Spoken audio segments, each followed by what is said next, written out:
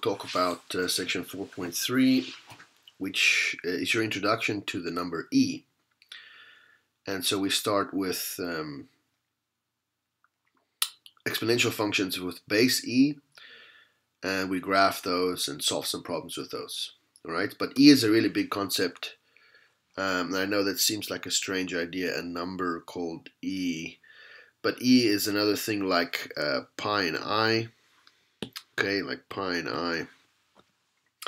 It's an irrational number, um, and actually the value of e is about 2.718. What you really need to remember is e is about 2.718. Okay, you don't have to memorize any more digits than that. But you really do have to memorize this. This is some very, very important number that you need to know what it is you're looking at when you see E. Okay, uh, this was discovered by Euler, Leonhard Euler, um, and we call it natural base E, number E, something like that. Okay, um, and it says as n gets bigger, as n gets bigger and going towards infinity, this expression approaches E. Okay, and then I have some examples here to show you what happens uh, when n gets bigger. So if n gets to 10 to the sixth power, very, very big number, then this expression becomes 2.71828, which you can see is uh, getting closer to the number e, the actual value of e. Okay, and so the real value of e here is uh, this. And actually, we would write it like this. The limit as n approaches infinity of 1 plus 1 over n to the n is the number we call e, which is approximately 2.7182, so, so, so. Okay? And so this is just, this is the notation to show you what we're talking about here. Uh, this expression will eventually become equal to that thing, right? As n gets very big and going towards infinity. Okay, so um, any case, for you, the main thing is just know that e is an irrational number and e is very, very important in all kinds of problem solving. Uh, chemistry, physics, uh, finance, all kinds of areas, the the number e is heavily, heavily used. It has some very special properties in calculus as well. Okay, so we're first going to do some simple examples where you just try and uh, get familiar with e and see what we're talking about. Um, you know, so you don't get confused between e and some in a variable, and then um, yeah, and then we will uh, graph some. Okay, so uh, simplify the expression just saying uh, I have e times e. Remember, e is just a number. Okay, it's not a variable, it's just a number. But e to the 7 times e to the 4, the rule is still the same. It's just 7 plus 4. The exponential rules remain, so you get e to the 11th. All right, and then here, same thing. 2 times 6, 12 and then e to the negative 3 plus 5. So you would just get 12e to the 2. All right. Uh, and uh, please forgive my note sheet for these weird question mark things when it exported Microsoft Office. Uh, I guess got a little bit confused. Um, any case, so um, C is this 24 over 4, of course, is 6 and then 8 minus 5 is just e to the third. Nothing new here, same exponential rules. Just remember, e is just a number, e is 2.718 approximately, okay? And then here, apply this again, so this is 10 to the third, and e to the negative 4x needs to get multiplied by 3 as well. So uh, 10 to the third is 1,000, okay, 1,000 and then e to the negative 4x times 3 would be negative 12x. Okay, just a review of your exponential rules. Just to get you familiar with e, e is not a variable. Okay, so actually you could come up with an answer here if you plugged in an x value. Uh, here we could approximate all of these on your calculator. Okay. All right, so there's that, and then uh, example two just says use your calculator to evaluate the expression, and you will see on your calculator there is a E button. Okay, and the E button, I can't show it to you right now, unfortunately, but the E button uh, is accessed by pushing second and LN. There's an LN button. Okay, so just do second and then LN. There's a capital LN button on your calculator, and that gives gives you e to a power. All right, and again, I apologize here. This got messed up. It's e to the fourth, uh, and this is e to the negative 0.09. And so what you have here, if you do e to the fourth in your calculator, you just get uh, about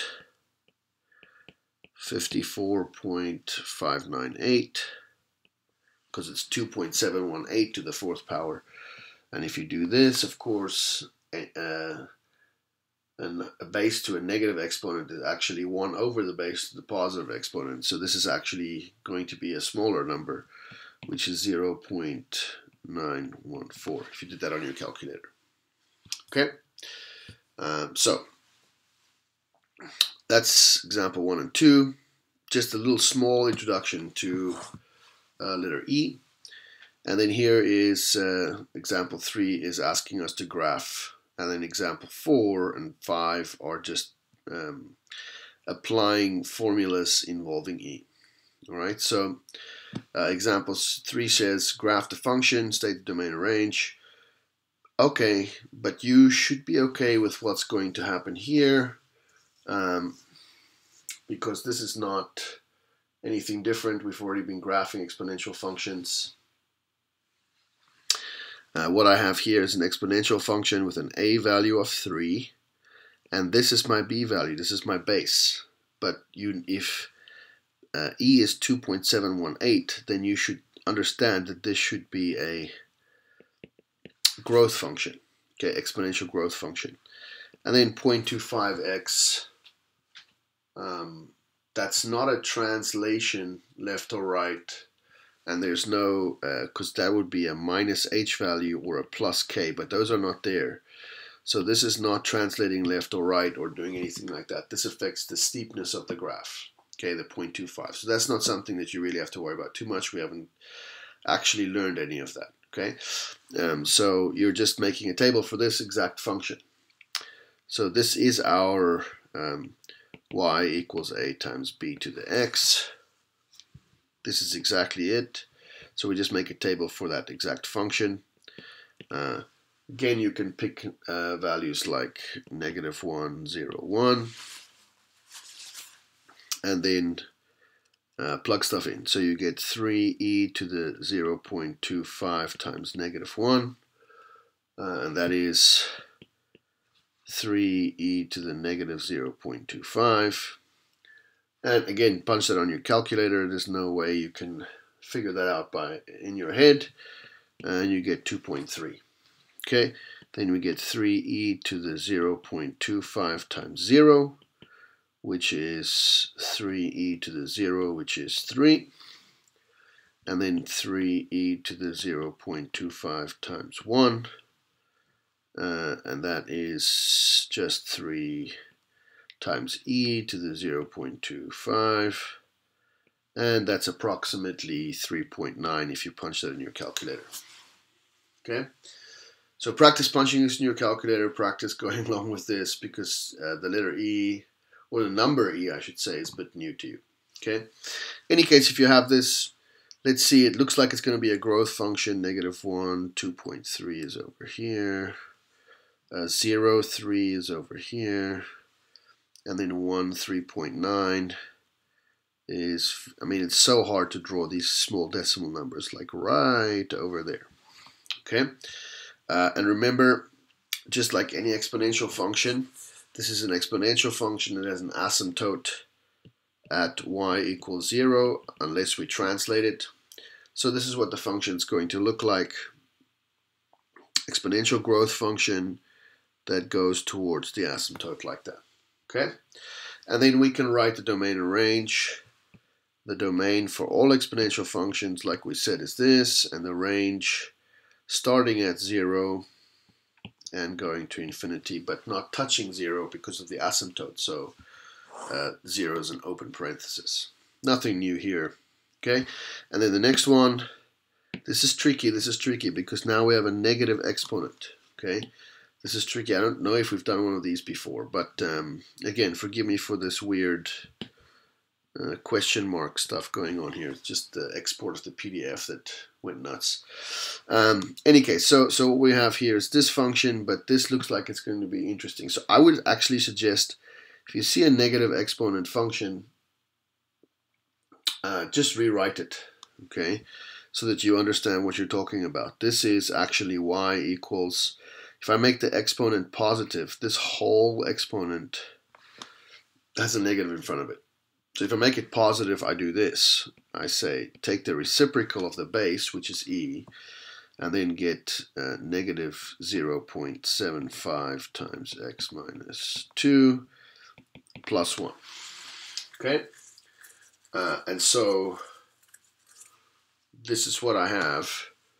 Um, for my function. And now you can see the base that we have is actually um, a fraction.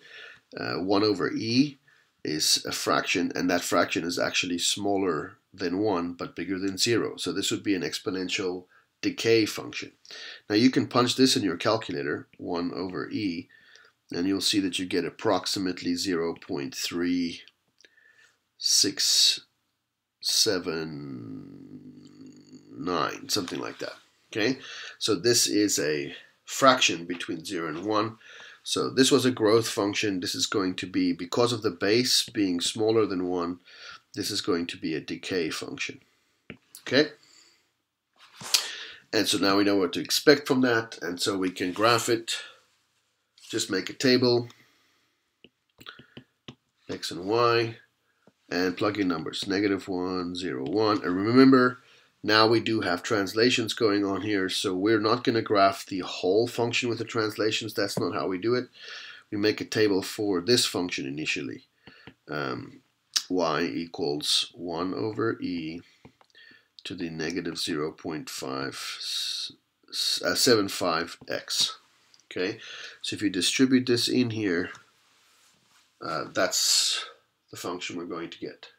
Okay? And then um, we're going to graph that and then we're going to translate it. All right? So let's graph this 1 over e. And so we plug this into our calculator. Let's do this. So I get, or, or alternatively, sorry, I put a negative here. uh, of course, this should be positive.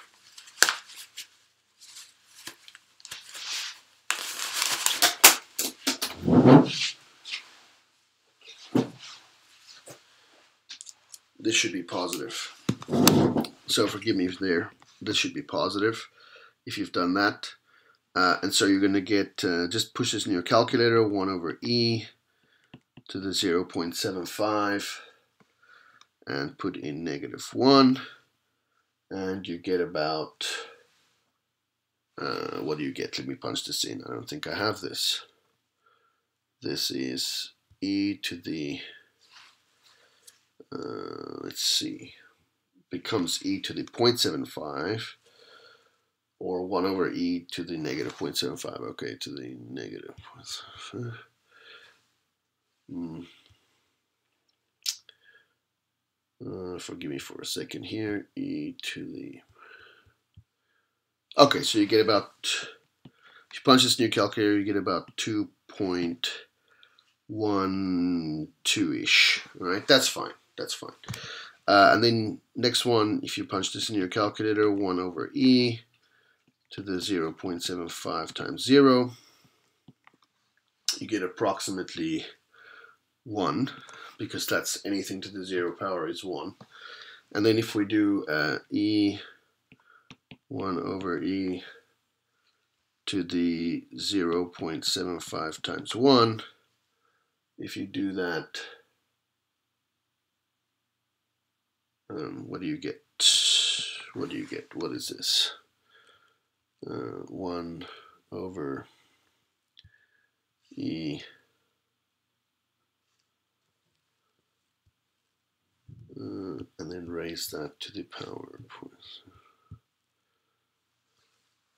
Yeah, you get about a 4 point, uh, 0.472.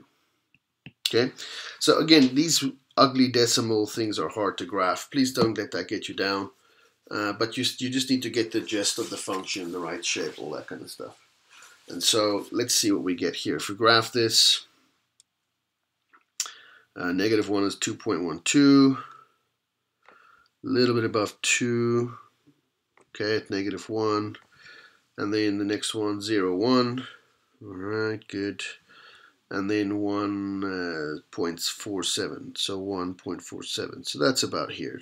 Hard to graph that uh, precisely. Okay, um, and then we're going to take that and translate it. Huh, wonder if I did that correctly. Okay, we're going to take that and translate it, and I'll check this in a second. Let me see I did that correctly. I'm actually going to graph this to double check myself because I'm I have a different graph here on my uh, completed note sheet. Let me check this, okay?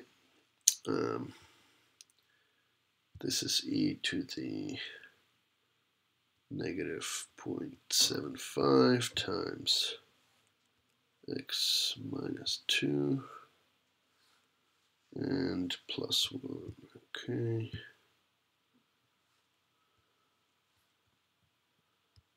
Let's take this out. Sorry guys, just give me one second. Let me see what I've got going here. I just don't want to show you the wrong thing.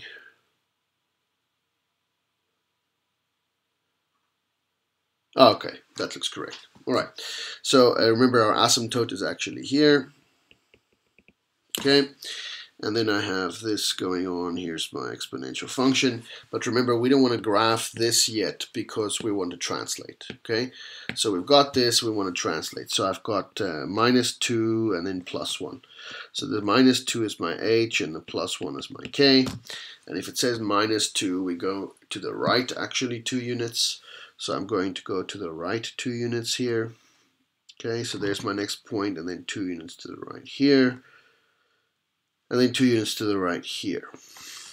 Okay, and then this says, uh, the H value says go up one. So let me switch to yet another color, go up one. So I'm going up one, going up one, and I'm going up one. Okay, and remember your asymptote needs to get translated up one as well. So here is my asymptote. And so here's my final function that I've got going here, something like this. Okay. And so you can see what we thought in the beginning is correct. It is a decay function and it's just been translated a little bit. All right. Uh, and so what we have here is all of that. Looks good. Uh, let's talk about domain. Again, domain for our exponential functions is always this. And the range, it starts here at 1 and goes up forever. So 1 to infinity. Uh, remember, it's, it's 1 because my k value is 1, my asymptote is 1. All right? So that's example 3, nothing very, very new there. We'll come back and do example uh, 4 and 5 in the next video.